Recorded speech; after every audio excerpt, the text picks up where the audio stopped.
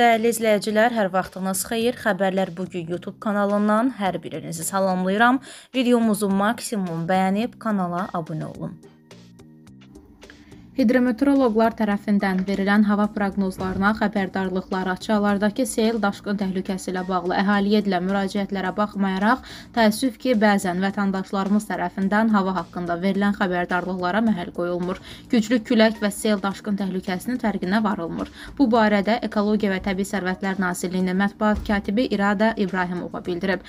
Hava şəraiti ilə bağlı əhaliyə ehtiyatlı davranmaları üçün zəruri məqamları diqqətə çatdırılıb.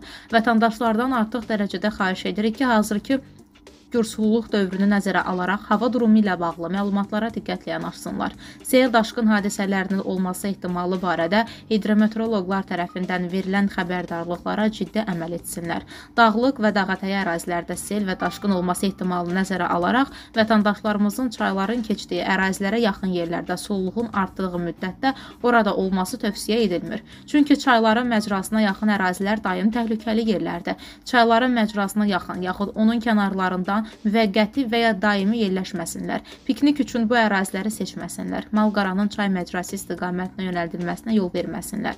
Təəssüf ki, insanlar sel hadisəsinin yaradacağı fəsadların fərqinə varmırlar, təhlükənin ciddiliyini nəzərə almırlar. Sel prosesini yaxından izləyirlər, ərazini tərk etmək əvəzinə hətta selfi çəkirlər. Düşünmürlər ki, bu çox təhlükəlidir. Axın hər an istiqamətini dəyişə bilər. Bir daha bildirirəm, xəbərdarlıqlar ciddiyə alınmalı. Sel daşqın hadisəsi başlayan kimi dərhal ərazi tərk edilməlidir. Küləkli havada uşaqlar nəzarətsiz buraxılmamalı, nəqliyyat vasitələri iri gövdəli ağacların altında saxlanılmamalıdır. Çünki güclü külək nəticəsində hətta sağlam, iri gövdəli ağacların belə aşma, budaqlarının sınma təhlükəsi var.